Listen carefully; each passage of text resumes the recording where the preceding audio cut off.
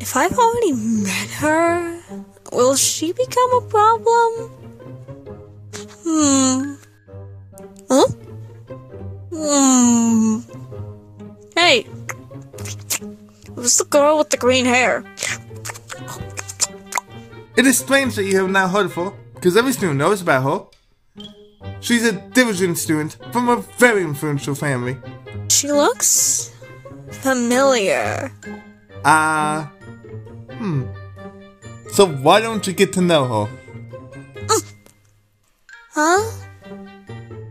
Huh? I love you. I said it's over. well, cool. The girl in a month trying to hook me. Basha will really start digging into me. You are a bitch. Hmm? What did you say?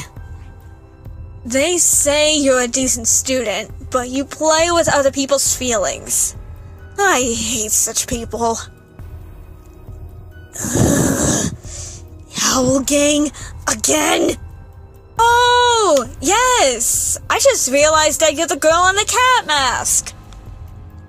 So, young lady, you're in big trouble, so. You are so annoying! You are eternally disgraced by your existence! Listen to me carefully. As soon as I become the head of the cat, I will erase your owl gang. Remember, a blight always keeps their promises. Got it?